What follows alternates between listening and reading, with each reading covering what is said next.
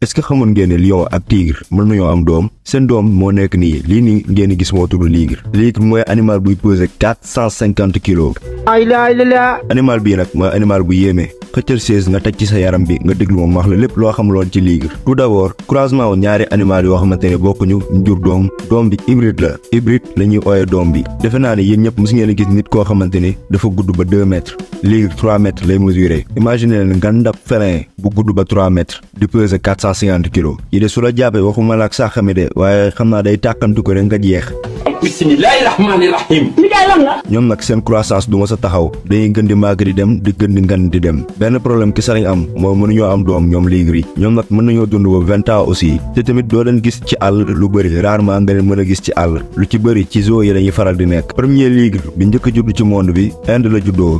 au dix-neuvième siècle te ñoom nag dañoo am doole lool mën nañoo xëcc ba sept cent kilos jëm kaw soo taseeg moom fexeel noo rëccee ndaxte yow miy pesé quatre-vingts kilos billaahi tëwoo na la rey ñoom nag lu ci bëri dañuy xiiboon ndaxte seen articulation yi attanul seen yaram dañuy am ay mettitu yax ak ay mettitu muscle dañuy feebar des fois lu bëri te aussi onze kilos yàpp lay lekk par jour su la jàppee bu sooba yàlla dina la deseeroo